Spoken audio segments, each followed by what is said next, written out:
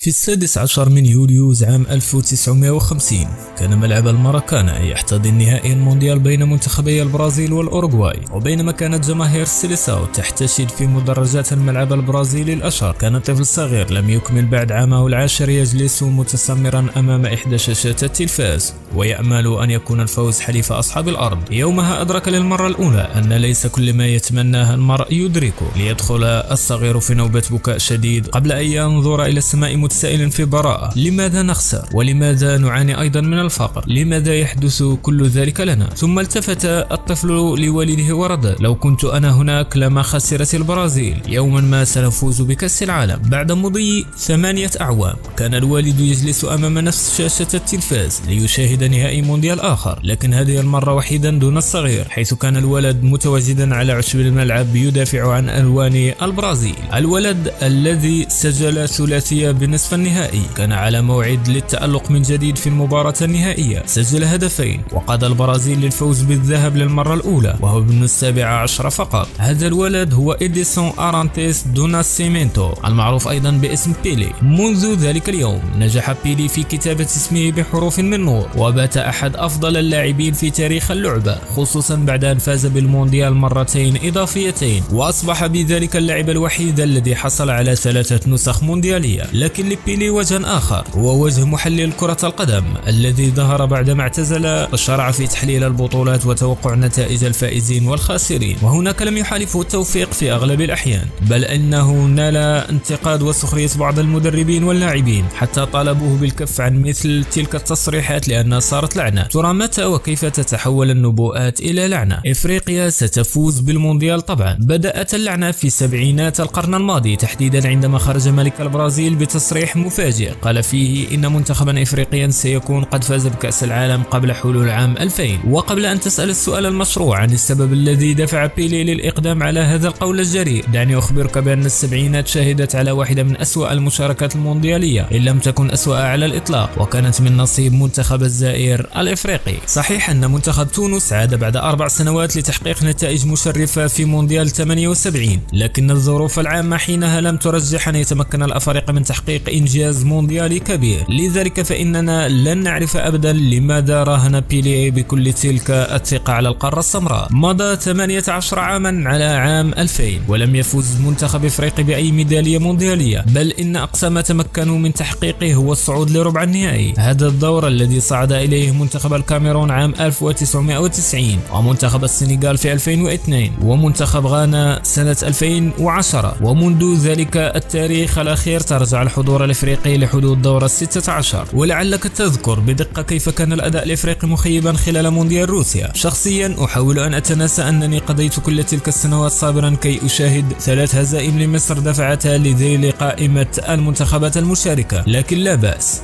إذا لم تخب توقعات أحد منا في المنتخبات الإفريقية كما خابت توقعات بيلي. كولومبيا أيضا ستفوز بالمونديال. يبدو أن الرهان الخاطئ عن إفريقيا لم يكن أمرا عابرا ففي التسعينات أكدت رهانات بيلي قبل بدء أي بطولة أن سوء الطالع سيكون الرفيق الأول للمنتخب الذي يتوقع له النجاح سوى أن كولومبيا أصابها ما هو أكثر من سوء الطالع. قبل بداية مونديال 1994 وعند سؤال بيلي عن أبرز المرشحين أجاب كولومبيا قد يكون السبب الأبرز خلف تلك النبوءة هو جيل اللاعبين القوي الذي امتلكه المنتخب الكولومبي آنذاك وهو الذي تمكن من تحقيق انتصار تاريخي على منتخب الأرجنتين بخمسة أهداف نظيفة بتصفية التأهل للمونديال. بالإضافة لقرعة الموت التي أوقعت كولومبيا مع رومانيا أمريكا وسويسرا وجعلت الجميع يظن أن التأهل لدور الستة عشر محسوم. لكن ذلك كان مجرد ظن لا أكثر حيث خسرت كولومبيا أولى جولاتها أمام رومانيا بثلاث لواحد ودخلت المباراة التالية أمام صاحب الأرض والجمهور الولايات المتحدة وهي تلعب على الفوز فقط. هذه الظروف وضعت لاعبي كولومبيا تحت ضغوط شرسة خصوصا بعد أن نزل الأمريكيون إلى أرض الملعب بحماس واندفاع. هذا الاندفاع كان له أن يترجم في الدقيقة الرابعة والثلاثين عندما أرسل الجناح الأمريكي ستيوارت عرضية أرضية لتجد في طريقها أقدام المدافع الكولومبي أندريس إسكوبار قبل أن تسكن مرمى فريقه. خسرت كولومبيا وخرجت من الدور الأول. وعاد اللاعبون إلى العاصمة بوغوطا يجرون ذيول الخيبة لكن الأسوأ لم يأتي بعد. ففي الصباح الثاني من يوليوز 1994 استيقظ سكان كولومبيا على خبر بشع. لقد اغتيل المدافع اسكوبار بعد أن تلقى 12 طلقة في صدره خلال ليلة قضاها بملهى ليلي بمدينة ميدلين. تقول صحيفة لوس أنجلوس تايمز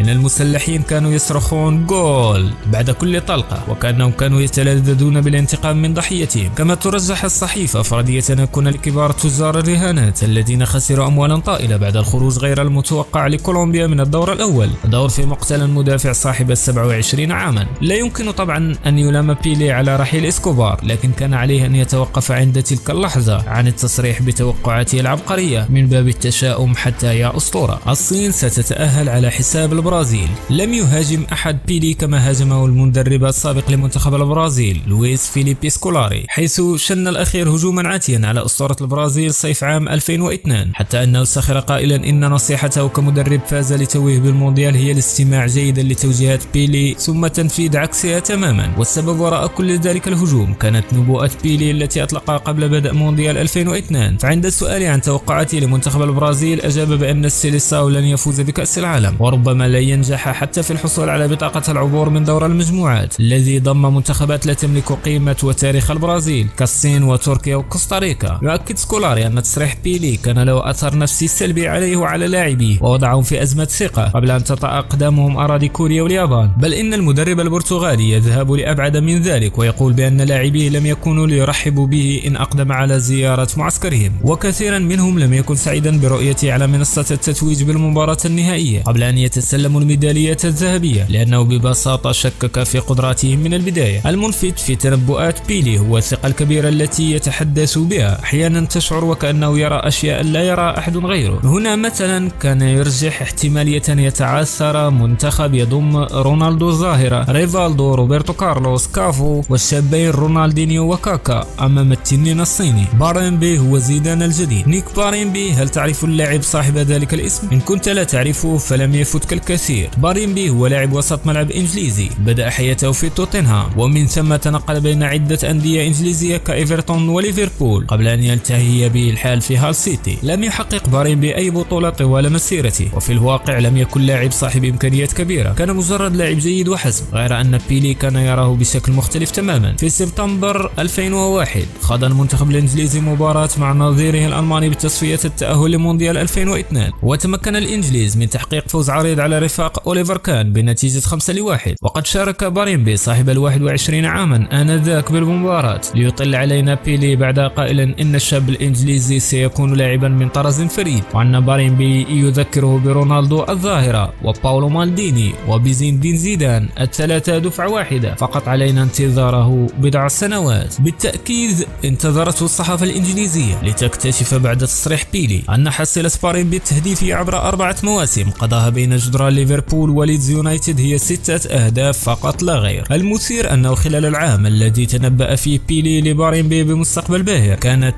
منتخبات الشباب تخوض منافسات كأس العالم بالأرجنتين وهي البطولة التي شهدت ميلاد نجوم بحجم سافيولا وجبريل سيسي وأدريانو وكاكا ومحمد اليماني. كل هؤلاء لم يلفتوا نظر بيلي ولفت نظره باريمبي. آسف أقصد زيدان الجديد. نكات بيتهوفن. أثبتت السنوات القليلة الماضية أن لاعب كرة القدم الفذ ليس بالضرورة محللا أو مدربا جيدا والعكس صحيح أيضا. قد يكون هناك لاعب كرة قدم متوسط أو سيء لكنه يستطيع تحليل اللعبة وقراءة المباريات بشكل ممتاز. نحن الآن نعيش في فترة يبرز فيها أسماء مدربين كبار كمورينيو وكلوب وفينجر وماوريتسيو ساري وأليغري الرابط بين كل هؤلاء أنهم لم يمارسوا كرة القدم بشكل احترافي أو مارسوها وكانوا لاعبين سيئين. في المقابل فشل أسطورة الأرجنتين مارادونا كمدرب ولم ينجح المهاجم الفذ ماركو فان باستن في قيادة هولندا كمدرب للدور الثاني بالمونديال واليورو. أضف لهؤلاء الهداف التاريخي ألان شيرر الذي لم يتمكن كمدرب سوى من حصد خمس نقاط من أصل 27 بيلي هو أيضا مثال آخر. ينفي الربط بين اللاعب الجيد والمحلل الجيد. لكن كل تلك التوقعات التي جلبت لبيلي الانتقاد والسخرية لا تنال أبدا من مسيرته كأحد أهم لاعبي كرة القدم في التاريخ. بيلي فاز بكل شيء ممكن رفقة السانتوس والسيليساو وسجل رقما خرافيا من الأهداف يقدر ب 1283 هدفا. لم ينجح حتى الآن ميسي وكريستيانو من الوصول إليه. وأعطى مثالا رائعا عن اللاعب الطموح الذي حقق كل شيء من لا شيء. يقول بيلي كيلي إن في الموسيقى هناك بيتهوفن وهناك آخرين وفي الكرة هناك بيلي وهناك آخرون. لذلك يمكن اعتبار كل تلك التصريحات الكوميدية التي أطلقها مجرد نكات. نكات بيتهوفن كرة القدم.